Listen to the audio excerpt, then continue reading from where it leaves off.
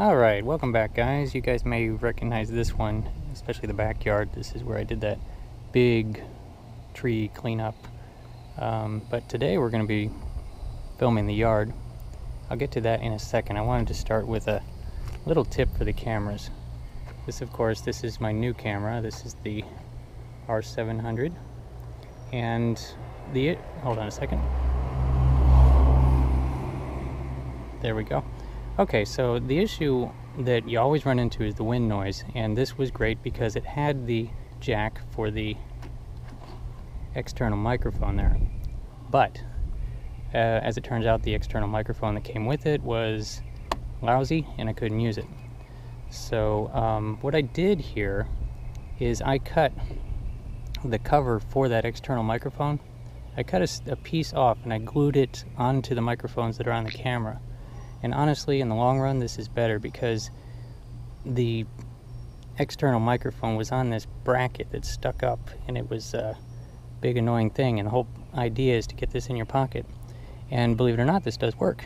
This is keeping most of the wind noise out. It's just a little tip. You can also use cotton balls and you can just tape them on there if you want. And no, I didn't tape across the microphones. I taped the microphones are here and here and I glued over here in the middle and on the side and you should be able to see under there that it's a seal on the bottom.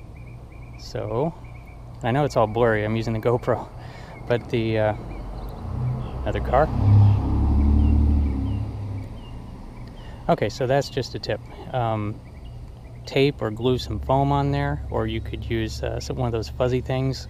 It kind of looks like a rabbit foot or a cotton ball or something like that and that will reduce your wind noise. Real easy to do I think we should all do it. Anyway, back to the yard. Okay, and back to the Canon. As you can see, I've got a bunch of little white flowers to mow over again. Those are always fun. And I'll come around here to show the rest of it. And we'll get to the backyard in a moment.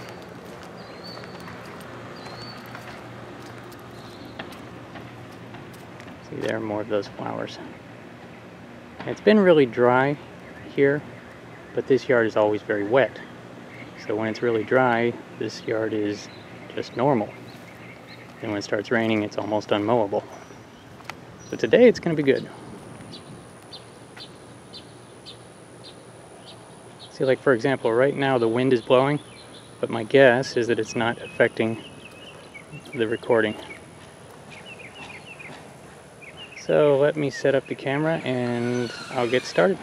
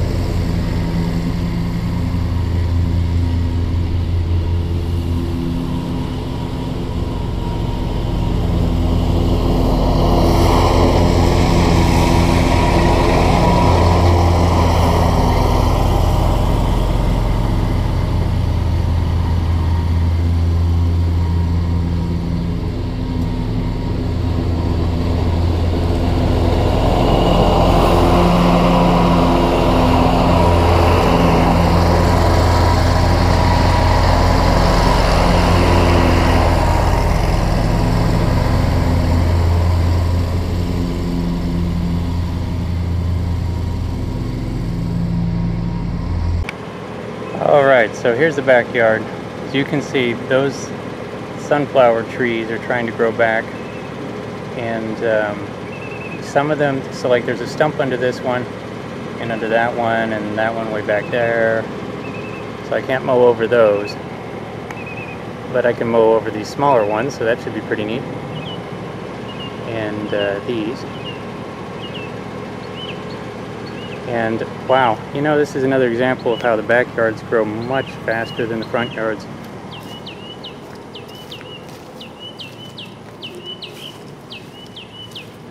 Anyway, most of it will be the lawnmower. Definitely going to be able to set up more angles than I thought. Pretty awesome. Oh yeah, and weed whacking these things down. Okay, let's get going.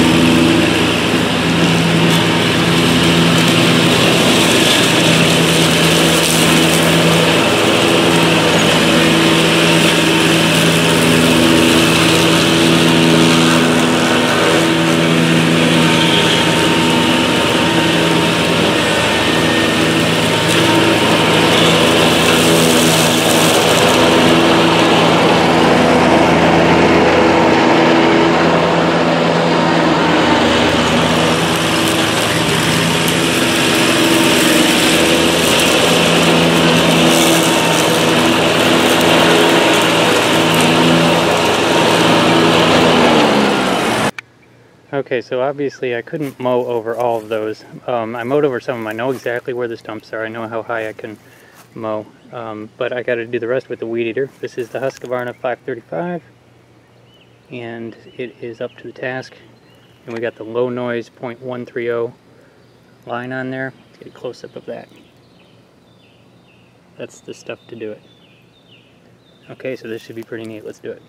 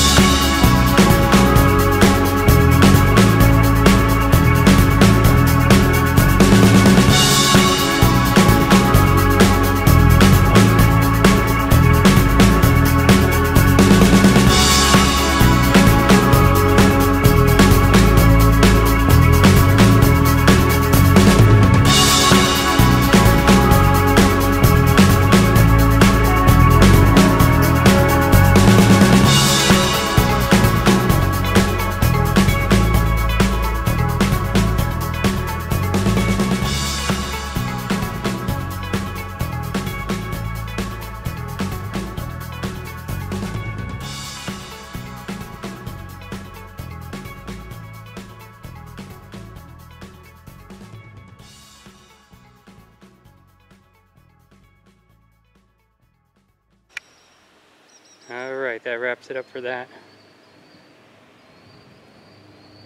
I hope sooner or later those trees are going to give up. That was the big one over there. There's a customer. Very satisfied. but I hope these die soon. I don't even know if they're gonna. And that does it. Okay, and so this is a good opportunity to test my microphone cover. Right now it is pretty steadily windy. And I'll turn it all directions to see what that's doing.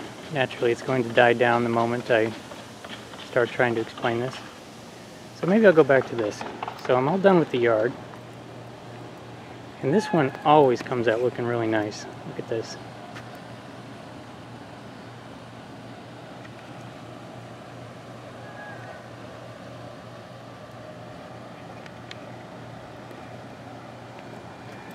Around to the front.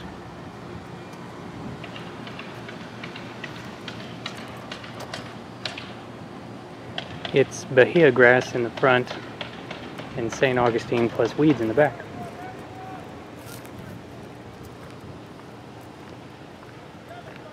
There we go. Almost started getting stripes over there.